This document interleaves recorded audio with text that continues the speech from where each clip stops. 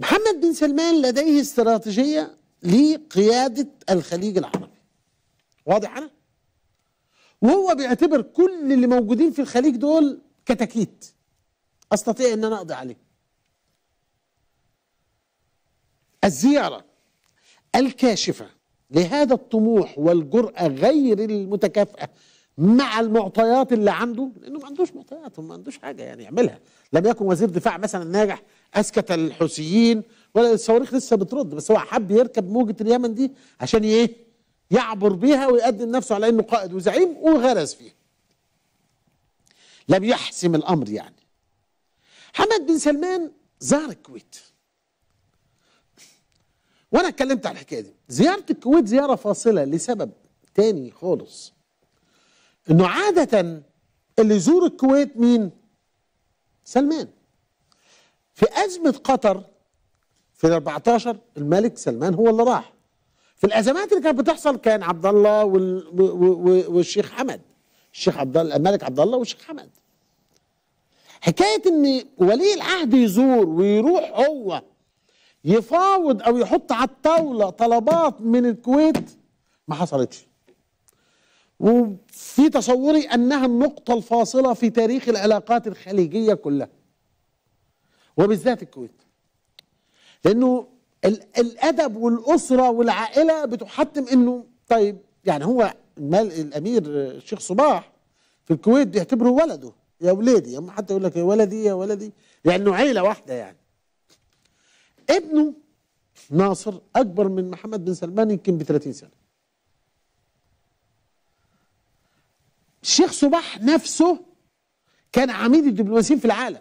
40 سنة وزير خارجية يا ابني رايح جاي طالع نازل. أنت مين؟ انت ما عندكش ريكورد فتيجي تقوم متنطط عليه الساعة كام؟ هاجي الصبح. لا مش جاي أنا هاجي بالليل.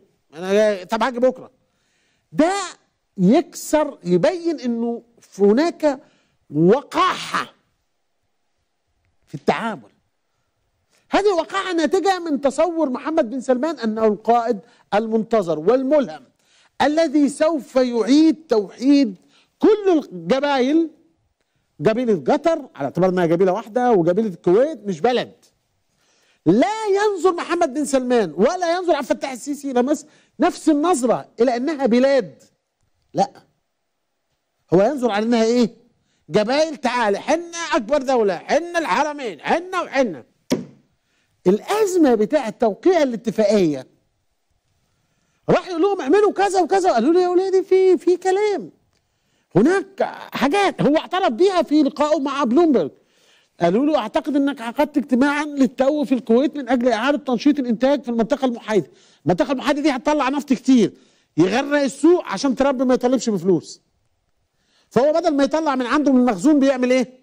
طالب من المنطقة دي ومن مناطق أخرى إن إحنا نطلع النفط ده ونسكت بيه مين؟ ترامب. فقالوا له في أهو. في الواقع إن المليون و300 ألف برميل يوميا تمثل مخزونا نملكه نحن الآن.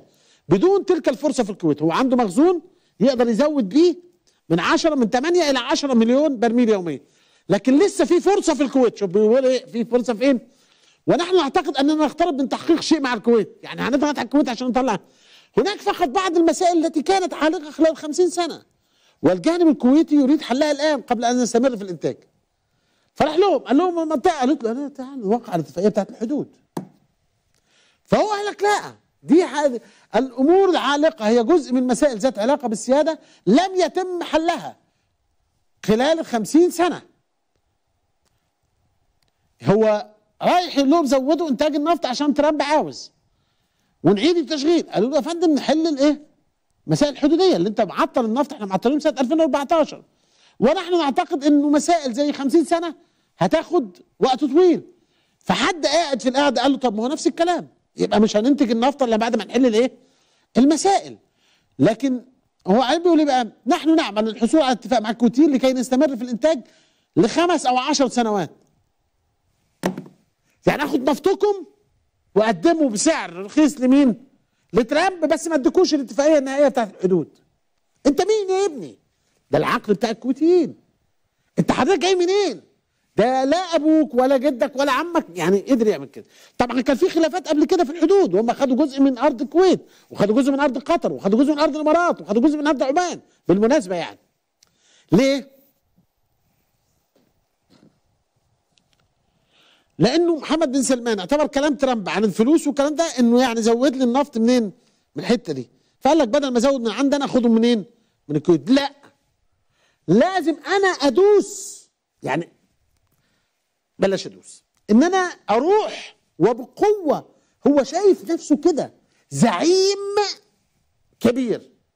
دي النقطه النفسيه المهمه زي ما كان هتلر شايف نفسه كده. موسوليني شايف نفسه كده. شاوشيسكو شايف نفسه كده. ويقول لك أنا صغير والعالم دي كلها كتاكيت في القفص الصدري هلمها. وعندي استراتيجية اسمها السعودية العظمى. وعندي اتنين تلاتة رجال الدين بيطلعوا بيتكلموا. أطلعهم. هكتب لهم كلام ويطلع باسمهم.